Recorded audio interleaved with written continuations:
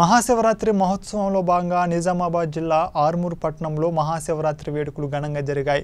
నవసిద్ధుల గుట్టపై ఉన్న స్వామివారి ఆలయానికి లక్ష యాభై వేల మంది భక్తులు పాల్గొని స్వామివారిని దర్శించుకున్నారు. స్వామివారిని టీఆర్ఎస్ పార్టీ అధ్యక్షులు ఎమ్మెల్యే ఆసన్న జీవన్ రెడ్డి జిల్లా collector C Narayana Reddy Armoor municipal chairman Vineetha Pavan ఆలయ కమిటీ చైర్మన్ ఏనుగు చంద్రశేఖర్ రెడ్డి పాల్గొన్నారు. ఆర్మూర్ మున్సిపల్ చైర్మన్ వినీత మాట్లాడుతూ ఎమ్మెల్యే జీవన్ రెడ్డి ఆలయాన్ని అభివృద్ధి చేశారు. భక్తులకు అంతరాయం కలగకుండా కమిటీ వారు పోలీస్ సిబ్బంది మున్సిపల్ సిబ్బంది దాతలు ఎంతో సహకరిస్తున్నందుకు పేరు పేరున ఆర్మూర్ మున్సిపల్ కార్పొరేషన్ సభ్యుల తరపున కృతజ్ఞతలు తెలిపారు.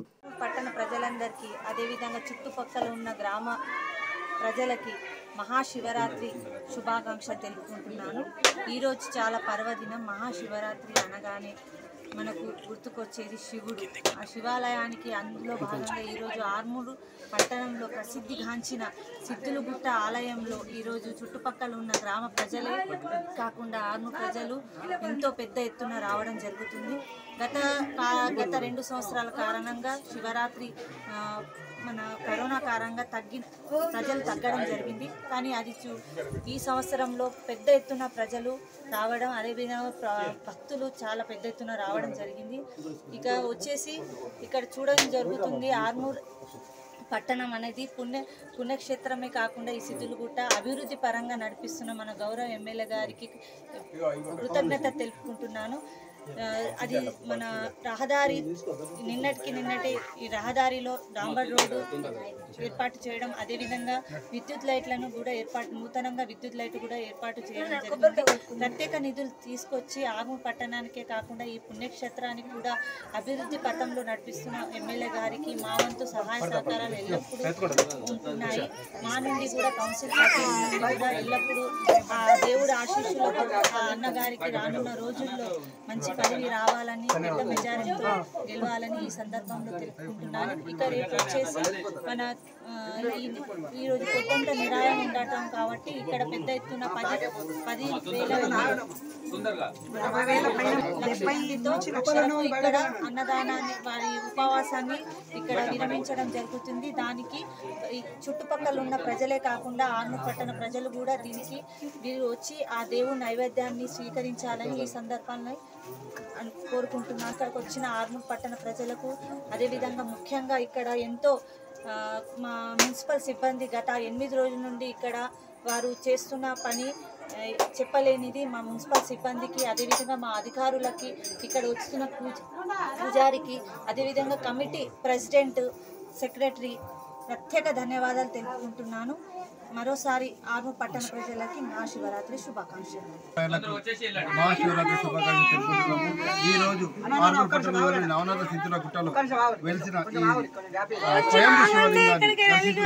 ఈ రోజు లక్ష నుండి లక్ష యాభై వేల మంది భక్తులు ఇక్కడ వస్తారని మేము ఎక్స్పెక్ట్ అదే విధంగా మా డైనామిక్ ఎమ్మెల్యే జీవనన్న గారు ఇక్కడ సదుపాయాలు ఎలా చేశారంటే ఎవరు కూడా అంటే ఏ ఇబ్బంది పడకుండా ఈసారి సీసీ కానీ డాంబర్ రోడ్ అభివృద్ధిని ఎంతో ఉండి ఈ రోజు ఇక్కడ రవాణా ఫెసిలిటీ కూడా బస్సు సమస్త హిందూ బంధువులందరికీ నమస్కారంలో నేను శ్రీ చైతన్య హరిదాస్ గురు మహారాజ్ గారి మునిమన్మణి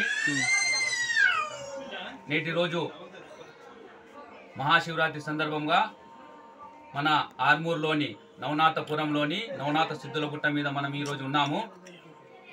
ఈ నవనాథ సిద్ధుల గుట్ట అనేది ఏ విధంగా వచ్చిందనేది మీకు షార్ట్ అండ్ స్వీట్గా చెప్తాను. గోరఖనాథుడు తన గురువు కోసం తన గురువు మచ్చేంద్రనాథుడు కోసము గోరఖనాథుడు సృష్టించిన బంగారు గుట్ట ఇది అందుకోసమే ఆర్మూరు గుట్టను బంగారు గుట్ట అని అంటారు తెలుసా ఆ విధంగా ఇక్కడ ఇంతకుముందు నవనాథ సిద్ధేశ్వరులు ఇక్కడ ఉండి నవనాథ సిద్ధేశ్వరుని స్థాపించారు కాబట్టి ఈ ఆర్మూర్లో ఉన్న సిద్ధేశ్వరుని నవనాథ సిద్ధేశ్వరుని అని సిద్ధేశ్వరుడు అని అంటారు అయితే అవును. శ్రీ హరిదాస్ గురు మహారాజ్ గారు హరిద్వార్లో ఉండగా ఈ నవనాథ సిద్ధేశ్వరులు ఇక్కడ గుట్ట పరిస్థితిని చెప్పి అక్కడి నుంచి ఇక్కడికి అతనికి పంపించడం జరిగింది. ఎయిటీన్ ఇయర్స్ తపస్సు చేసిన మహారాజ్ గారు నవనాథ్ సిద్ధులేశ్వర ఆశీర్వాదంతో వాళ్ళ ఆజ్ఞానుసారంగా ఇక్కడికి వచ్చేసి ఇక్కడ నవనాథ్ సిద్ధేశ్వరుని సేవ చేయడం జరిగింది. ఈ నవనాథపురం అనేది ఆర్మూర్గా ఏ విధంగా మారిందంటే ఇక్కడ ఈ నవనాథపురానికి కలియుగంలో బంగారముపై పిచ్చి మరియు డబ్బుపై పిచ్చి ఉంటుందని చెప్పేసి మత్స్యేంద్రనాథుడి ఆజ్ఞానుసారము ఘోరకనాథుడు ఇట్టి గుట్టను బంధానం చేసిండు. ఎందుకంటే మనం ఊరు పండుగ చేసినప్పుడు ఊరుకు కట్టుబంధానం అని చేస్తుంటారు కాబట్టి ఆ విధంగా బంధానం చేసిండనమాట ఎవరు కూడా ఇక్కడికి రావద్దు ఈ బంగారానికి డిస్టర్బెన్స్ చేయొద్దు. అదేవిధంగా మా వల్ల ప్రతిష్ఠించబడిన నవనాథ సిద్ధేశ్వరునికి కూడా ఎటువంటి హాని కలగద్దని చెప్పేసి ఇక్కడ బంధనాన్ని కట్టుబంధనాన్ని చేసి చేయడం జరిగింది. అయితే వాళ్ళు ఒకానొక సందర్భంలో ఇక్కడికి వచ్చి తపస్సు చేసి వాళ్ళ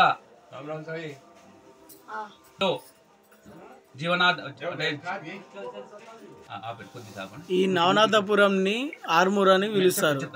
అదే చెప్తాను అది. ఇక్కడ పన్నెండు సంవత్సరాలు తపస్సు చేసి వెళ్ళిపోవడం జరిగింది. అయితే వాళ్ళ వాళ్ళు లేని కారణంగా ఇక్కడ ధూప దీప నైవేద్యం అనేది భగవంతుడికి కరువైంది కాబట్టి ఈ ధూప దీప నైవేద్యాన్ని ఏ విధంగా అయినా సరే ఆ సమస్యను తీర్చాలన్న ఉద్దేశంతో పద్దెనిమిది సంవత్సరాలు తపస్సు చేసిన హరిదాస్ మహారాజ్ గారి దగ్గరికి వీళ్ళు హరిద్వార్లో వెళ్ళారనమాట